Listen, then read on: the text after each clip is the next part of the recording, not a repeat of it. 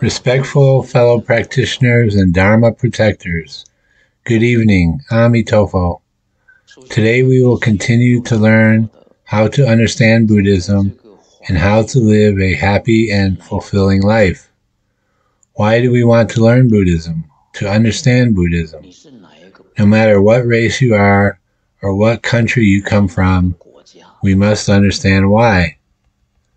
I believe every one of us has a sense of hope, especially the young people. The time for young people to practice is now. They all hope that they can be successful in their career, not just the professional side, but also their personal life. To be happy without pain, without worries. That's what we call living a happy life. A lot of people want to seek this kind of treasure, called a perfect, beautiful life. However, this treasure already exists in us, and also this treasure is found in Buddhism, or pointed out by Buddhism. However, we are not aware of it. This treasure is very clearly stated in Buddhism.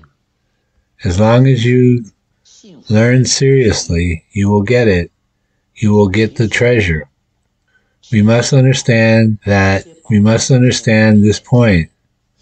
Everyone has this treasure, but you need to work hard to find it. In the past, back in the nationalist China era, in the early 1900s, Buddhism was required, not just a choice, but was a necessity for the people living in this time the 20th century, and the 21st century is no exception. Because as humans, we have a lot of issues that need to be resolved and seek help to be solved. So this is the use of Buddhism to us. So we have talked about the terminology and we have talked about enlightenment. So we have learned about the first level of right awakening. So we're moving on to the second level called equally perfect enlightenment or Samyak Sambodhi. Why do we need to learn an enlightenment that is equally perfect to Buddha? Why do we need to achieve this level? It is because a person who has equally perfect enlightenment has selflessness. If using a very shallow way to describe me like who am I, the self, the easiest way to understand it, the shallowest way to see it, is selfishness and self interest. Today, why do we practice Buddhism for a long amount of time, but there is no effect or the effect is minimal, very small, is because of our selfishness. Some people even have more afflictions. After learning Buddhism, the more they learn, the more burden they feel, the more unhappy they are, because deep inside their heart, there is still an I. This false self is still there. Deep inside, it's still me, me, me. And because of I, because if there is still I, an illusion of self, we have all the afflictions because I'm happy, because I'm sad, because I don't get, I need, I don't need, I love, I don't love, I love, I hate. There's a lot coming from this I. That's why Buddha told us that the first step to gain enlightenment, which is true freedom, is to break through the illusion of I. When you are sick, you go to the doctor, right? So the same thing. If your view is wrong, or if you are lost spiritually in all respects, you need a doctor like Buddha to solve it, to help you by pointing out the solution. We need to know that every one of us has a disease, not just our body, our heart as well, not just mental, like our heart, because of the false view of self, illusion of self. Because there is self, then if self cannot be satisfied, If self cannot reach anything, then it's not happy. Therefore, the afflictions begin. Only a person who is selfless can see things clearly. They will be able to discern the truth from the falsehood, good from evil, right from wrong, and benefit from harm. It's a bit deep now because we're talking about equally perfect enlightenment. We need to savor it, to pay attention to it. What is real and false? We use happiness as a standard. You must see the actual reality behind our speech, thoughts, and actions. What kind of thing should I avoid to avoid falling into the cycle of suffering?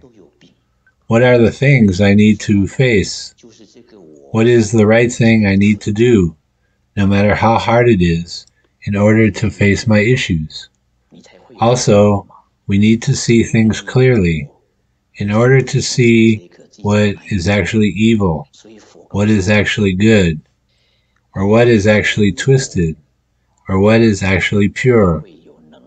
Is the path that I'm walking on right? This is just a metaphor.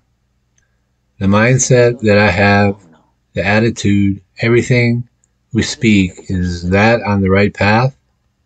In the five precepts, one of them is no sexual misconduct.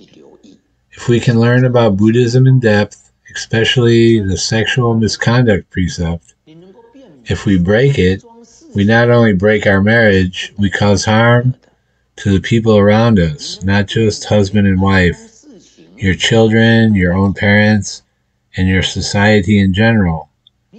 So, this is one of the cases where we need to have a very clear mind in order to resolve it, in order to avoid it. Another case about right and wrong. Say today, my actions, my speech, my decisions, are they right or wrong?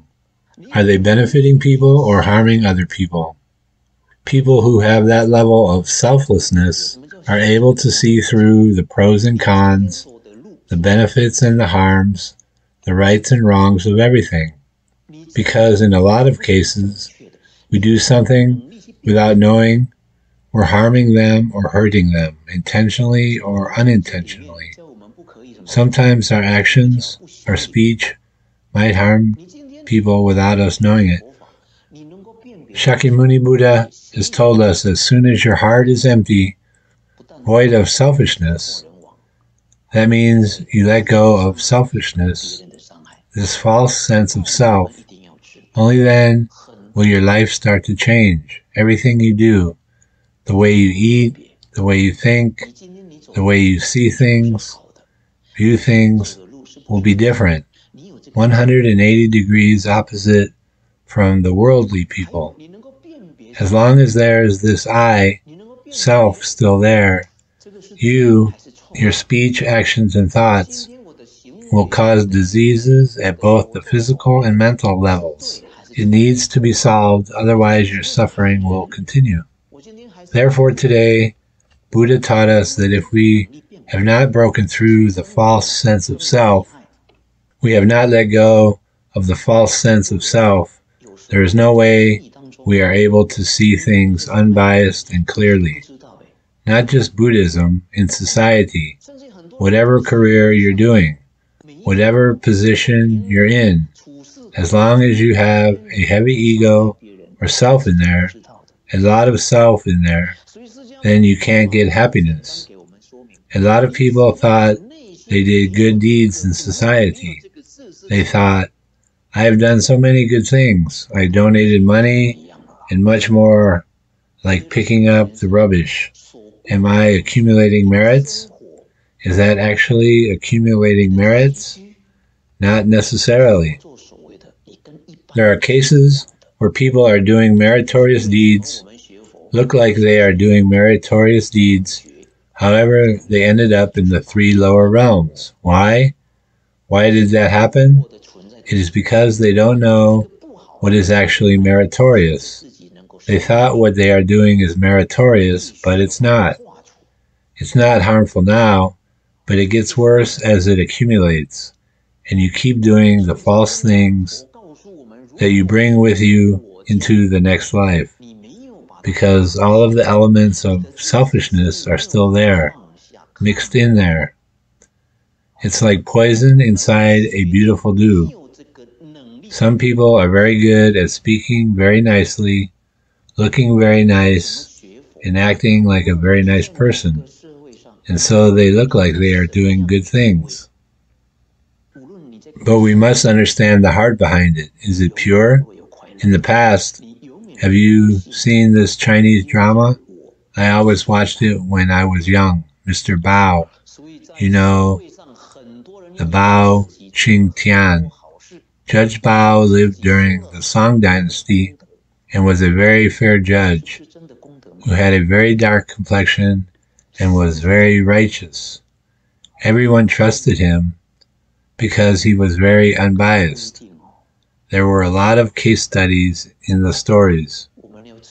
The reason he was called unbiased was because he dared to challenge the authorities that were abusing their roles because in the eyes of the law, everyone is equal. He was then able to oversee the power and able to capture these corrupted people into the law. So why did Mr. Bao capture all of these seemingly good people? A lot of them looked like good people. Everyone praised them. But Mr. Bao exposed their actual intentions and their deeds behind the scenes. They were not actually good people. There were a lot of elements of greed and hatred inside, as well as revenge, like trying to get back at someone. So we need wisdom to see through this, something that is hidden very deep, and the point is so that we are able to do good, actually good things. In Buddhism, there is a standard for being good. You want to be a good person, right? There are standards for being a good person. To be a true good person, a person deserving to be called good, what is it? How do we define it? How does the Buddha define it? Buddha taught us in the three pure meritorious deeds. If you fulfill these three big categories of meritorious deeds, then you're considered qualified as being a good person. What is the first meritorious deed? The first one is to be filial to your parents, which is to love and respect your parents. Only then will you be considered as an entry level good person. Then you also need to be respectful to your teachers. So love your parents and respect your teachers. Buddha is our teacher. So when he teaches you something that you understand, you should follow it. When you move up to that level, uphold the precepts of no killing, no harming sentient beings verbally or physically. Other than that, every kind deed you do if you divert away from the standards, then it's not considered as good. It's true. Other than these standards, if you divert from them, then all the good deeds are not considered as good without this foundation, without this guide. A lot of people ask me, Master, I want to be a good person.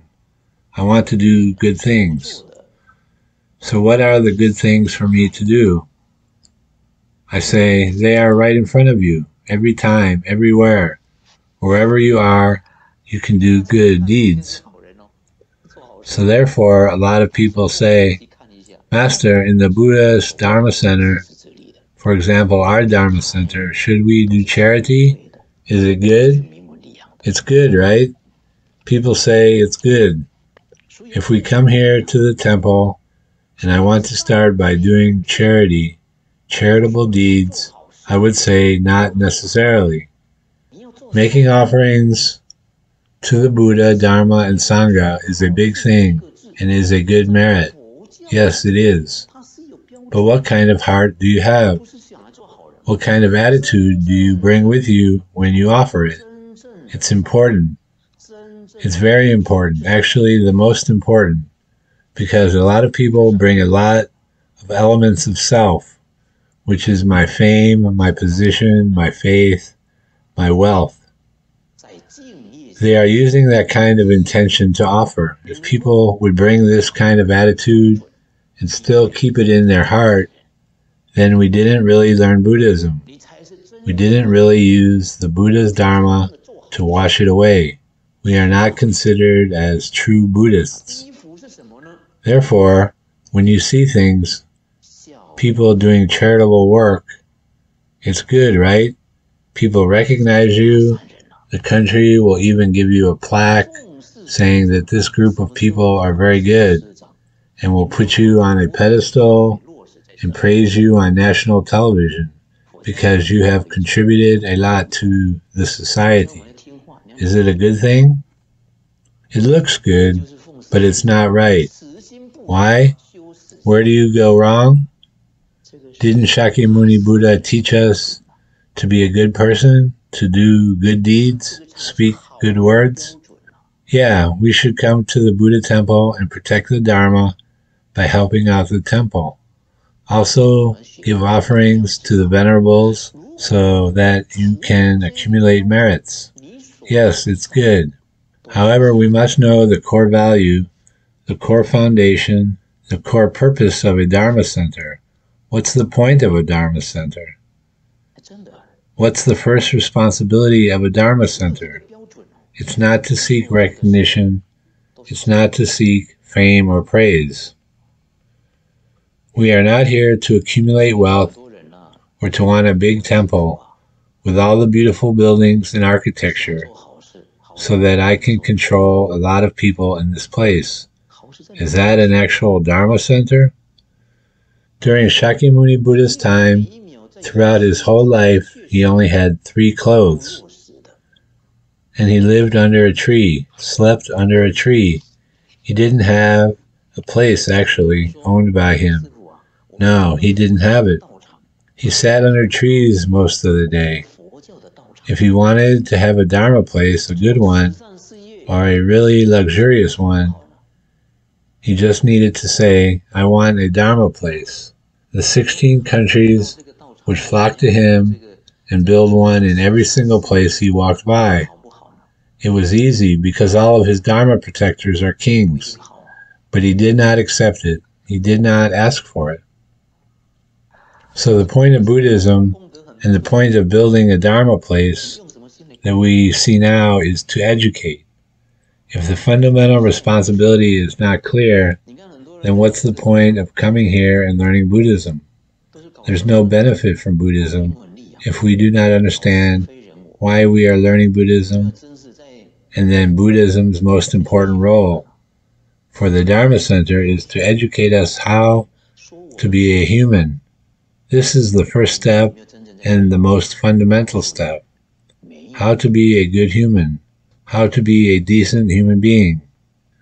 If we can't even be a decent human being, and we say we want to be born in the Pure Land, do you have guarantees to do it? It's the guarantee I'm talking about. Can you be happy in this life if you can't be a decent human? Can you be healthy can you live carefreely if you are not a decent person? Today, to learn Buddhism, we must understand and be able to break through, see through what is actually harmful and what is actually beneficial, what is right and what is wrong.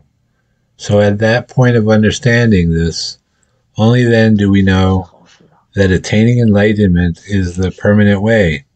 It's a long-term way to actually bring us to the state of happiness or to liberate ourselves from suffering, to avoid sufferings.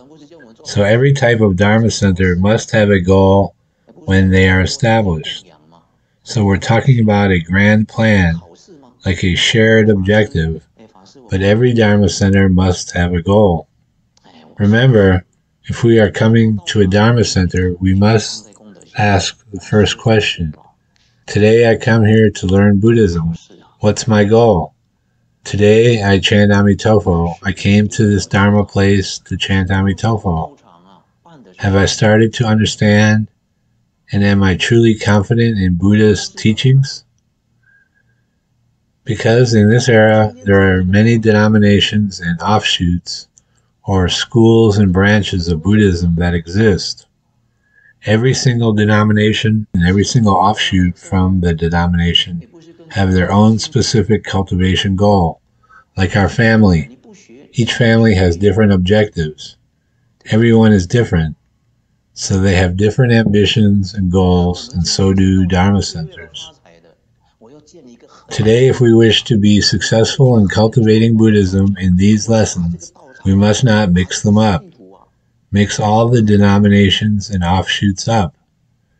It is because if we mix up different methods of learning Buddhism, in the end you'll learn nothing, master of none, because we're a jack of all trades. You can't get into any depth in anything. For example, one of the current branches is Pure Land Buddhism. If I want to chant Amitofo, I would go to a Pure Land Dharma center. If I like to meditate, I can go to a Zen Dharma center. If you want to learn tantric or mantra based learning, then you can go to a Tibetan Buddhism center. Or if you like to do good deeds, really like to help vulnerable people and connect with people and go to Tzu Chi Foundation. You can't mix them up together. Suddenly, on Monday, I wanted to go to Pure Land Dharma Center. On Tuesday, I go to a Zen temple. On Thursday, I will go to a Tibetan Buddhist temple. And on Friday, I will go to Tzu Chi Foundation. It's mixed up. It's too much. You will get confused because everyone has a different goal. They say different things, and you hear them all the time. All of them are right, so nothing is right in a way, and get nowhere in your practice. Just like when we learn painting, if you want to focus on one path, you need to understand the painting itself, the techniques, and all that. You need time to get into it. You can't just on Monday learn painting, on Tuesday learn piano, on Thursdays learn dancing. Mix them up. You need to set aside time for you to focus on getting in depth into what you want to learn. So be specific and focus on one goal and one path at a time. For a beginner of Buddhism, we must have a goal. We don't do that because we don't like other branches or temples. No. It's not because we're excluding people who are narrow minded. The whole point is to get something in the end, to learn something in the end. Because especially this denomination is actually meant for the beginners, helping the beginners so that when they come in, they only have one path, one clear path Everyone's following that one path. You have a very clear guideline, and you have peers, you have a teacher. They're all following one path, and you will easily achieve success because you will move forward quickly. Especially in this era, it is not easy for a Dharma center to be certified as authentic because an authentic Dharma center will be protected literally protected by Buddhas and heavenly beings, like they will be a bodyguard of this Dharma center. For a Dharma center to reach this authenticity, first they must have Sadharma, which is the Dharma of the Buddha, who does the teaching.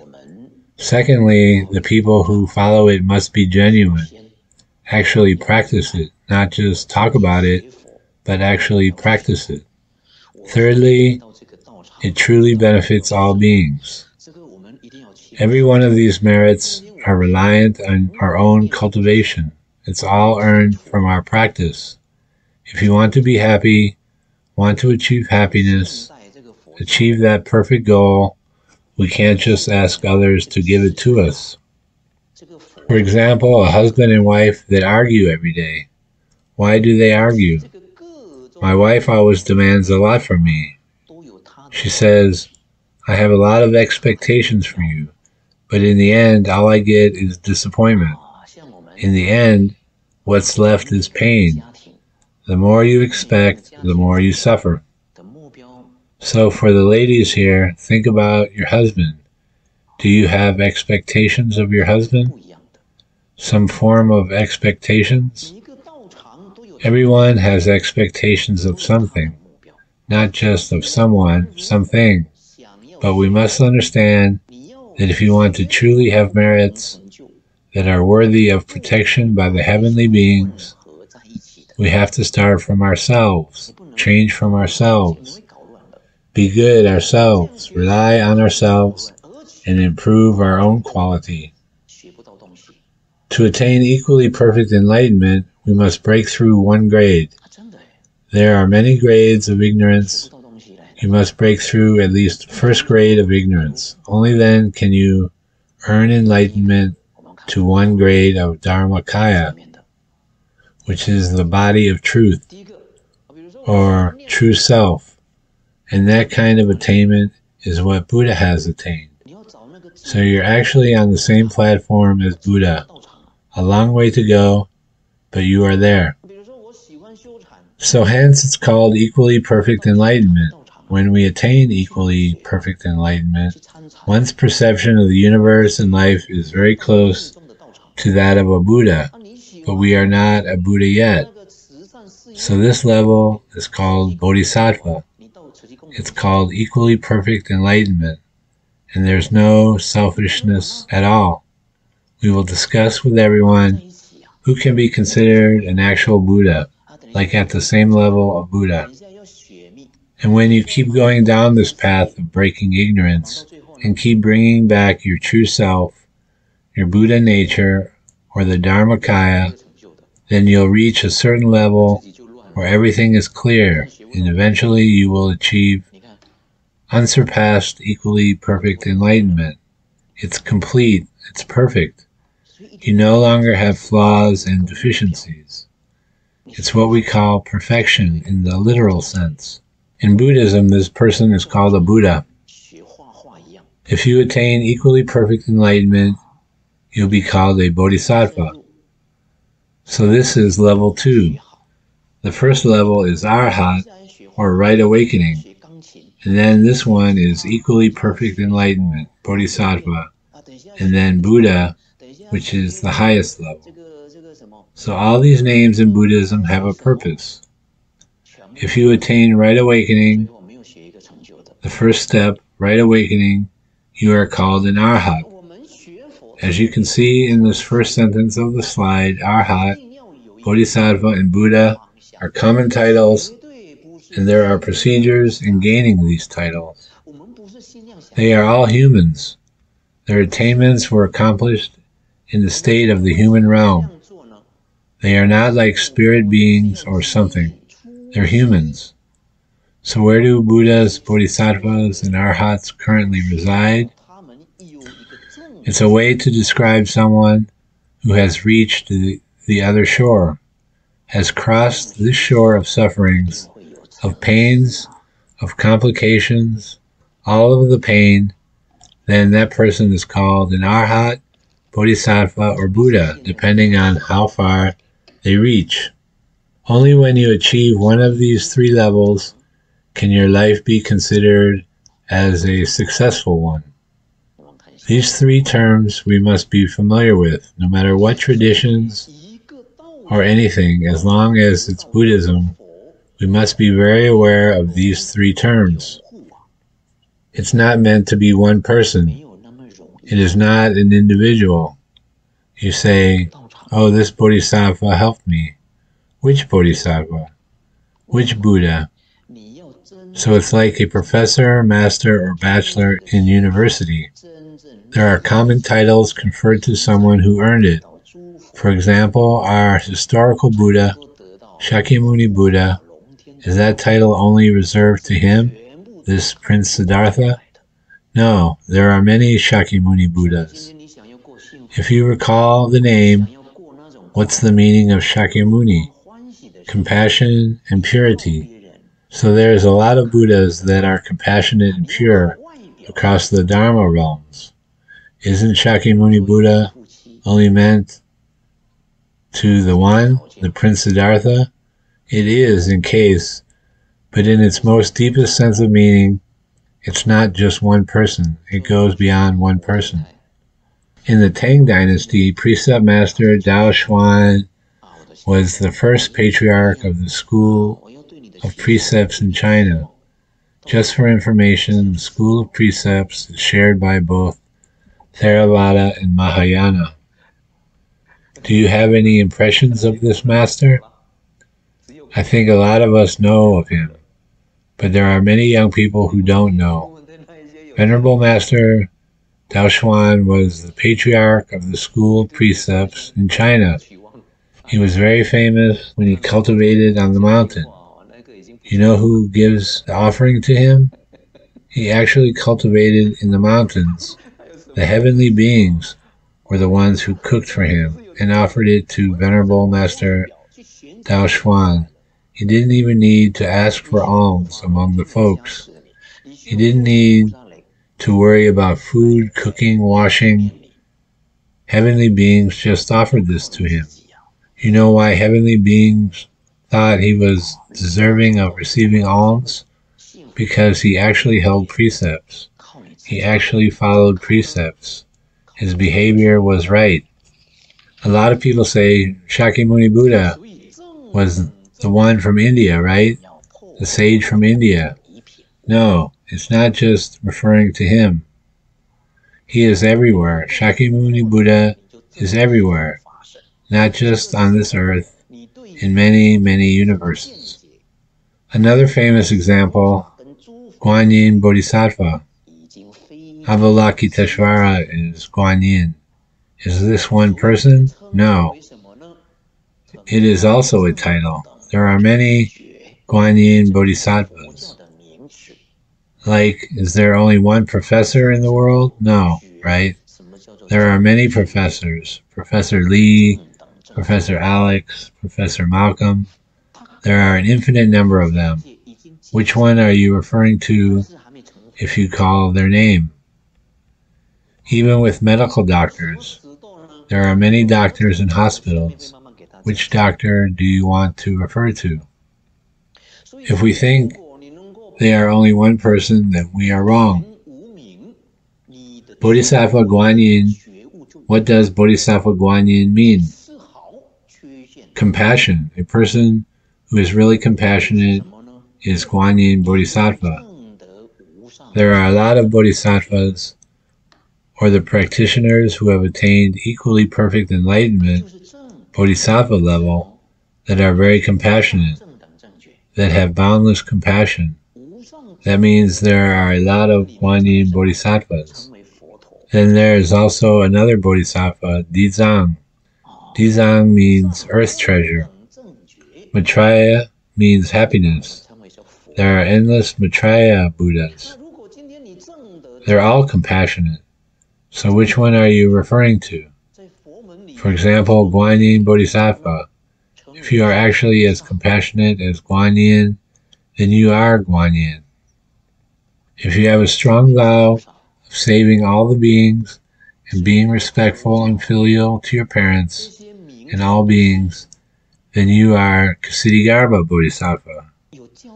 Buddhists get this mixed up, confused with the names of Buddhas, Bodhisattvas, and Arhats. They get confused with it. If you ask people around, your parents, your friends, your peers, what's a bodhisattva? Or in Chinese, pusa, they can't explain it. It's hard. They don't understand. They have no concept of it. In our youth group, if you ask what a bodhisattva is, are we clear what a bodhisattva is? Before we learned this, we were confused. We did not learn it in depth, so we didn't know. We always thought this name was an individual. We didn't know that there is infinite meaning inside this name. Have you all read the Infinite Life Sutra? Yes, we have. It's actually very good. It's just that we need to find an English version. And what is Amitabha Sutra? What is Amitofo? We are also not clear. What is Shakyamuni Buddha? We also don't know. We should learn. If we don't learn, how can we cultivate? If we don't know who is my teacher and what is the profile of my teacher, then how do I attain anything under him? If I say Amitofo and I don't know who Amitofo is, how can I have a connection with this teacher and actually learn? Same goes for Guanyin Bodhisattva and Dizang Bodhisattva. We need to learn. There is only benefit and no harm at all. Buddha in the Infinite Life Sutra. So in the sutra, people in the Pure Land, every one of them practice Samantabhadra Bodhisattva's vows. So they all act like Samantabhadra Bodhisattva. People who are born there, they are all Samantabhadra Bodhisattvas, which means they all practice the ten great vows. And the number of Samantabhadra Bodhisattvas are infinite. There is no way you can calculate them. Where is Samantabhadra Bodhisattva? We should ask, which Samantabhadra Bodhisattva? As a Buddhist, we should understand. In this way of learning Buddhism, we will not fall into superstition or get lost when we are learning it. So I would like to continue in depth next time so that we are no longer treated as a superstitious group because we know what we are learning. We have a clear objective of what we are learning. For example, I believe in Buddha. I have taken the precepts. I have taken refuge in precepts. Some will ask, What is Buddha? They cannot provide a satisfactory answer. What is refuge? You don't know. What is a bodhisattva? I don't know. That statue? I am not sure. There is a lot of this happening inside the temple among the Buddhist community. It's very unfortunate. I hope that as the youth group, we need to take it seriously. Take the Buddhist teaching and understanding of Buddhism seriously. Only then can we understand what we have learned and how to lead ourselves and others to learn. In Buddhism, what do we learn? If I ask you this question, what do we seek in Buddhism? And all of us should be clear of what we are looking for. Let's continue. We are looking for wisdom. I would like to repeat myself. Seeking wisdom is the first thing we need to seek. How do we seek wisdom? Let's think about it. In Zen Buddhism, it is to seek enlightenment. Pure Land Buddhism talks about one mindedness, one heartedness, not moving.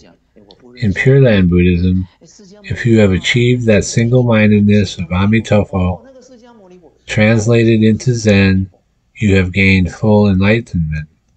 In Pure Land Buddhism, chanting Amitofo, everyone has qualifications to attain that level going to the Pure Land, and once you deepen your learning, then you have broken through the doubt, you no longer have doubt, and then you know why we need to go into the single-mindedness of chanting Amitofo. So going back to the big question, why are we learning Buddhism? To seek wisdom. So we will go in depth on this next week. So now I would like to just give you a brief overview of what is right awakening, equally perfect enlightenment, and unsurpassed, equally perfect enlightenment. Unsurpassed, equally perfect enlightenment is Buddha, Bodhisattva, and then Arhat. And knowing these three main titles in Buddhism. Why do we take refuge? Why are we learning Buddhism? These will be explained next week as well. We have also explained this in the previous class. Today we also talked about denominations and schools of Buddhism. But we also talked about what the point of the goal of Buddhism is and why we choose this Pure Land school out of all of them. So we will talk about that next week. Next week, Wednesday, I would like to invite you all to learn again. If today I've said anything not right or inappropriate, then please give me some feedback. Thank you so much. Amitofo. May you all be healthy. Amitofo. Let's dedicate our merits.